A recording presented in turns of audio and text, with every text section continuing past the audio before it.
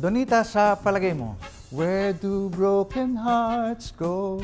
Sir Ray, sa iyong palagay, should I stay or should I say goodbye? Tama ng tanungan.